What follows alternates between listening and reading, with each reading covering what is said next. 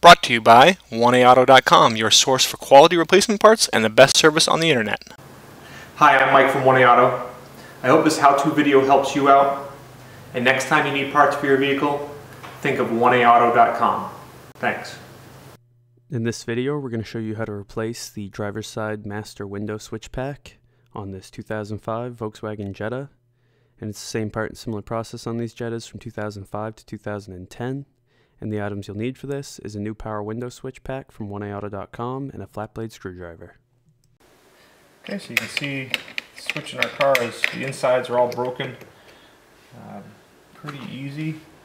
Use a, a plastic tool or a screwdriver. Just put it under this plastic panel here and lift up firmly. Okay, lifts out. And then you can, there's a blue tab here. Pull down on the tab. It's a little easier to do if you use a flat blade screwdriver to just pry up on that blue clip. And then the harness will pull free. Switch is held in by three tabs on each side. push to the side and pry near the tabs to release them. So I released one side, and then I'm just going to keep pulling up on the switch and pry on the other side.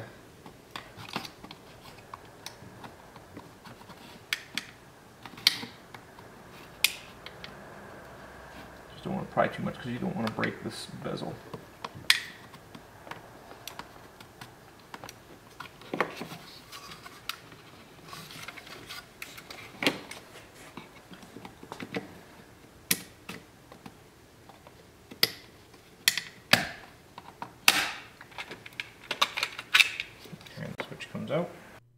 On the left is the old power window switch pack. Next to it are the two power window switch packs we offer at 1AAuto.com.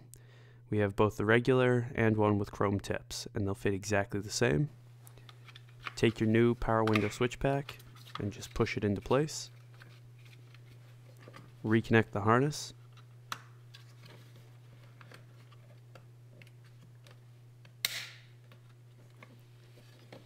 And then push the switch panel back down into place until it clicks in.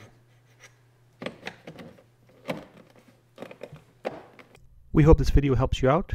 Brought to you by 1AAuto.com, your source for quality replacement parts and the best service on the internet. Please feel free to call us toll free 888 844 3393. We're the company that's here for you on the internet and in person.